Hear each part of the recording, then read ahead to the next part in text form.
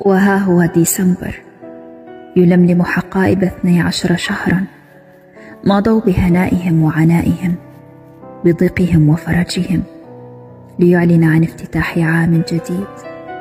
يرسم بين طياته احداثا جديدة ودروسا حديثة ومواقف طريفة.